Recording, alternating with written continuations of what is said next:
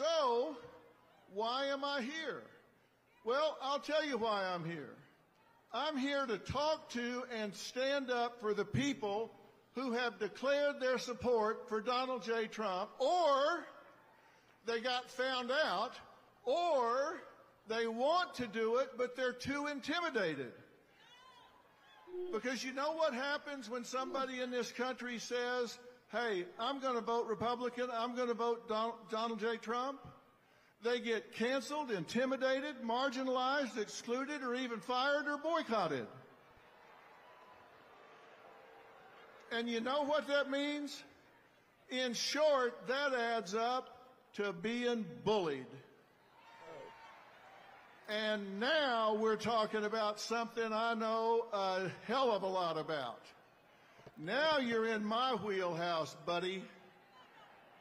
I may not be an expert in politics, but I am an expert about bullying. And bullying is when you seek to harm somebody, you, te- you seek to intimidate, coerce, cause distress, fear, ri- risk to their well-being and it can be physical, verbal, relational, or cyberbullying. And it's always wrong. You said it, my friend. It is always wrong when you bully somebody. And that's what's going on. Now, let me tell you what the critics are going to say when they hear me talking about this. They're going to say, well, now, wait a minute. Come on. Isn't Trump a bully? And let me tell you why the answer to that question is no.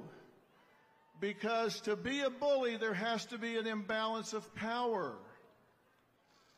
And when there's not, it's just called a debate. And he's just better at it than anybody else.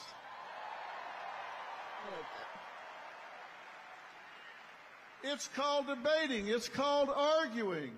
It's just, it may even name calling, but it's not bullying unless there's an imbalance of power.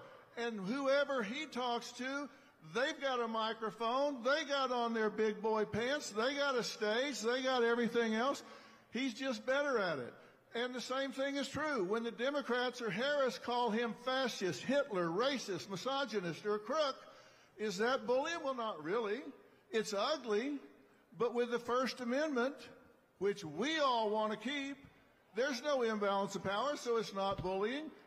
It's just like what he does. It may not be the best use of energy, but when you attack civilians, when you attack a, a, citizen, and you use the power of the internet, you use mob mentality, you incite people to gang up and cause boycotts, then it's beyond ugly.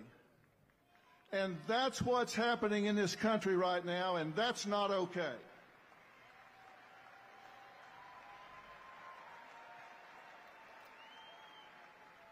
There is an imbalance of power there, and it's time that every one of us close ranks. We have to stop this now. It's time that we push back against cancel culture.